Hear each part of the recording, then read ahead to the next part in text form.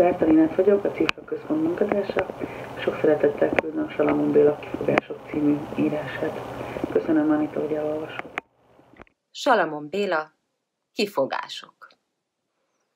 Minden színházi embernek az álma a tábla. A tábla, amely a bejáratnál lóg és büszkén hirdeti, hogy a mai esti előadásra minden jegy elkelt. Igaz, hogy akkor is ki lehet tenni a táblát, ha nincs egészen tele a nézőtér. Mert aki bent van, az nem látja a táblát. Aki pedig kint van, az nem látja, hogy bent mennyien ülnek. De az igazság az, hogy egy színház vagy jól megy, vagy rosszul.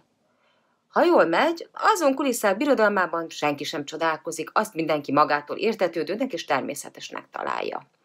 A szerző azért, mert jó darabot írt.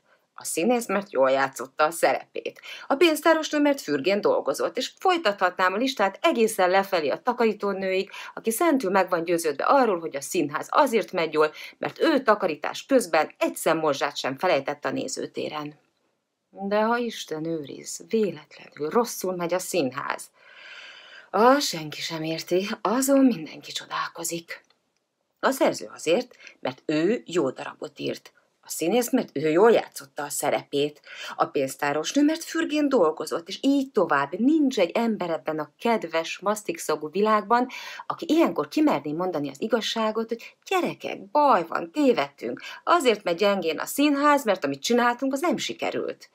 Ehelyett ezerféle kifogást találnak ki, hogy megmagyarázzák a közönség hűtlenségét. Nézzünk néhány gyakori példát. Szóval, miért van rossz ház? Mert szép idő van, és mindenki a szabadba ment. Mert csúnya idő van, és mindenki otthon maradt. Mert elsője előtt vagyunk, és még senkinek sincs pénze. Mert elsője után vagyunk, és már senkinek sincs pénze. Mert mindenki a futballmeccsre ment, mert mindenki lóversenyre ment. Mert a közönséget izgatja a belpolitika, mert a közönséget izgatja a külpolitika, mert a közönséget minden izgatja, mert a közönséget semmi sem izgatja, mert túl hosszú a darab, mert túl rövid a darab, mert túl komoly a darab, mert nem elég komoly a darab, mert még nem közvetítette a rádió, mert már közvetítette a rádió, és mindenki hallotta. Szóval így megy ez. Ez csak kóstoló abból a tömértek kifogásból, amelyel a társulat szédíti önmagát és az igazgatót. Ezért, kedves, drága, jó közönség, én nagyon szépen kérlek téged, hogyha csak lehetséges, légy szíves, minél gyakrabban színházba járni, hogy nekünk ne kelljen ilyen ostoba kifogásokon törni a fejünket. Thank you.